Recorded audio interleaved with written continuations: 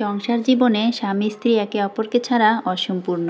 একটি সুখের সংসার পরিপূর্ণ করতে কিন্তু স্বামী স্ত্রী দুজনের গুরুত্ব অনেক বেশি থাকে। হ্যালো এভরিওয়ান আসসালামু আলাইকুম সবাইকে। লিজাস ব্লগ পেজ থেকে আবারও নতুন একটি ব্লগ ভিডিও নিয়ে চলে আসছি। আশা করছি সবাই সম্পূর্ণ ভিডিওটি দেখবেন। তো প্রতিদিনের মতো কিন্তু সকাল থেকেই ব্লগ ভিডিওটি শুরু করেছি। এই তো ঘুম থেকে উঠে ফ্রেশ হয়ে এসে বাবুর সাথে একটু সময় কাটাচ্ছি আর সকালে ঘুম থেকে ওঠার পর এমনিতেই মনটা অনেক ফুরফুরা লাগে। তো এখানে আমরা দুজনে একটু সুন্দরভাবে সময় কাটাচ্ছি। বাবুর সাথে গল্প করতে একটু বেশি ভালো লাগে, তো এখন নাস্তা রেডি করব। এই তো কিছু হালকা নাস্তা করে নিলাম আর আজকে সকালে নাস্তাতে কোনো কিছু বানাবো না। আজকে সকালে ভাত খেয়ে নিব। তাই এখানে আমি লাউ কেটে নিব, আর এই লাউটা ফ্রিজেই ছিল। তাই ভাবলাম এটা দিয়ে আজকে মুসুর ডাল রান্না করব, আর হচ্ছে মাছ ভর্তা করব। লাউটা আমি ছোট ছোট করে কেটে নিচ্ছি, আর এভাবে মুসুর ডাল দিয়ে রান্না করলে বেশি ভালো হয়। এই তো আমার লাউগুলো কাটা হয়ে গেছে, আর আমি পেঁয়াজ মরিচও কেটে নিয়েছি। এখানে আমি কার্ফু মাছটা ফ্রিজ থেকে বের করে ভিজিয়ে রেখেছিলাম আর ডালটাও সুন্দরভাবে ধুয়ে নিতেছি।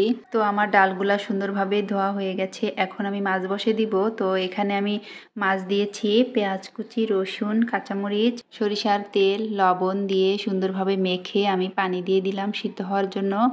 তো এটা সিদ্ধ এখানে হতে থাক আর এদিকে আমি ভাতটা বসে দিব। তো এখানে আমি চাল ধুয়ে নিয়ে প্রেশার কুকারে রেখে দিয়েছিলাম।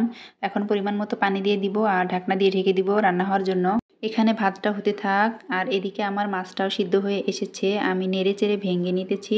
যেহেতু কার্পু মাছ ছিল, তেমন একটা কাটাও ছিল না। আর মাছের মধ্যে যে বড় কাটাটা আছে, সেটা আমি পরে ফেলে দিব।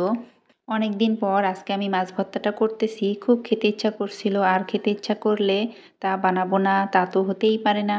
সেজন্য আজকেই মাছ ভর্তাটা বানাচ্ছি। মাছ ভর্তা আমাদের বাঙালিদের সবচেয়ে একটি পছন্দের খাবারই বলা চলে। আজকে আমি মাছ ভর্তা আর লাউ দিয়ে মুসির ডাল রান্না করব, এই দিয়ে আমাদের সকালের খাবার হয়ে যাবে। আর এভাবে মাছ ভর্তা করলে খেতে খুব মজা লাগে। তো আমি এখন বাটনাতে পিষে নিতেছি মাছ ভর্তাটা।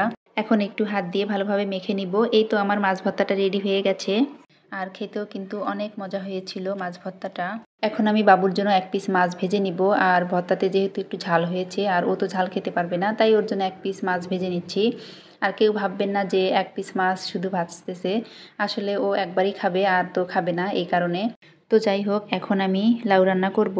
তো এখানে পেঁয়াজ ভেজে নিয়ে সব মশলা কষিয়ে নিয়ে আমি লাউটা দিয়ে দিলাম। আর ধুয়ে রাখা ডালটাও দিয়ে দিলাম। দিয়ে একটু নাড়াচাড়া করে নিব। তো এখন আমি লাউয়ের সাথে ডালটা সুন্দরভাবে কষিয়ে নিয়ে পরিমাণ মতো পানি দিয়ে দিব। তো আমি একটু নেড়ে চেড়ে ঢেকে দিলাম রান্না হওয়ার জন্য। আর এখানে এটা হতে থাক, গতকাল কিছু আপেল এনেছিল, সেগুলো আমি বের করে পরিষ্কার করে নিব। সাথে একটা ময়দার প্যাকেটও এনেছিল। আর আমি বাজার থেকে যে কোনো ফলমূল নিয়ে আসলেই ধুয়ে রাখার চেষ্টা করি। তো আমার আপেল ধোয়া হয়ে গেছে, এখন আমি একটু ভিনেগার দিয়ে ভিজে রাখব কিছুক্ষণের জন্য, কারণ ফরমালিন তো থাকেই সব ফলমূলের মধ্যেই।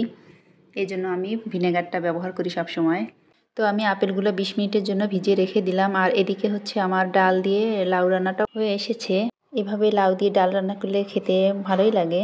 এদিকে আমার ভাতটাও হয়ে এসেছে। এখন আমি কিছু গরুর মাংস গরম করে নিব। আর আমার মাংসটা রান্না করাই ছিল, ফ্রিজে রেখেছিলাম। তো সেগুলো বের করে নিয়েছি। মাংসটা এখানে গরম হতে থাক। আর আমি এখন সকালের খাবারটা খেয়ে নিব। আসলে অনেক ক্ষুধা লেগে গেছে রান্না করতে করতে। এখন পর্যন্ত সকালের ভাতটা খাওয়া হয়নি। তো এই তো ভাত প্লেটে সাজিয়ে নিয়ে বসে পড়লাম খাওয়ার জন্য। মেয়েকেও দিয়ে দিয়েছি খাওয়ার জন্য, আর এখন আমিও খাব, বাবুকেও খাওয়াবো। আমি সব সময় আমি নিজের প্লেট থেকেই বাবুকে খাওয়াই। তো এই তো আমরা এখন খাব, আর ভর্তাটা খেতে অনেক ভালো হয়েছে। যাই হোক, ভিডিওটা আর বড় করব না। আমার ভিডিওটা কেমন লেগেছে অবশ্যই জানাবেন। ভালো লেগে থাকলে সবাই লাইক কমেন্ট শেয়ার করে দিবেন।